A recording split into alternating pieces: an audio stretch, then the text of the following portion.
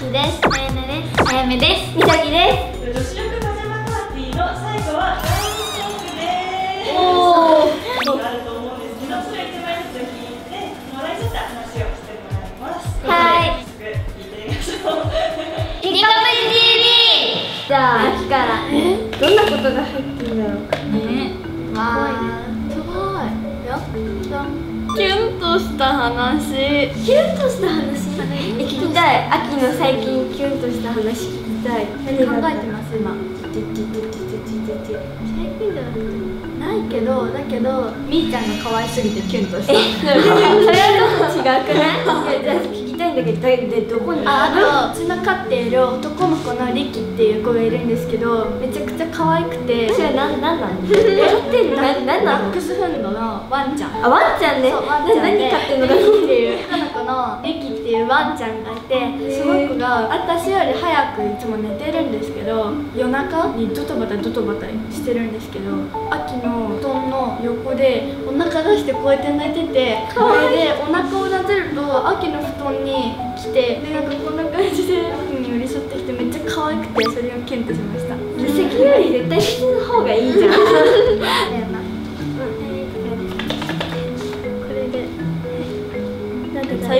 マイニュース。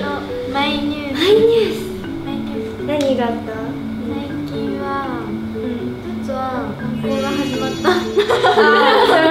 え楽しい学校。夏休み中は行きたくないなと思ってたけど行くと友達とかに会えて楽しかった。こんな感じ。それぐらいです。あやめ。えー、まあ2枚めんどくさそうなのを撮ってね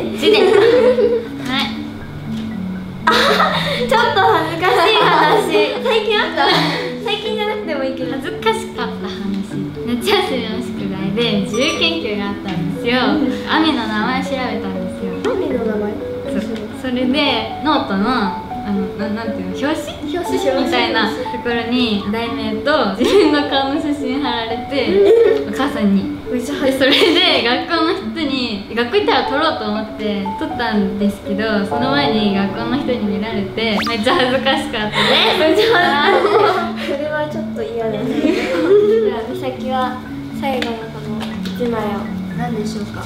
プチモノある子の秘密ぶっちゃけます、誰？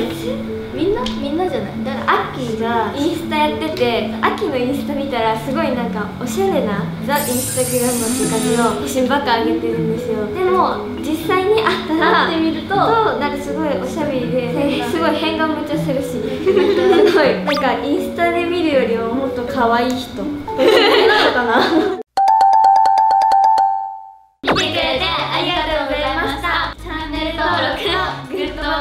お願いします。バイバイ。バイバイ。バイバイ。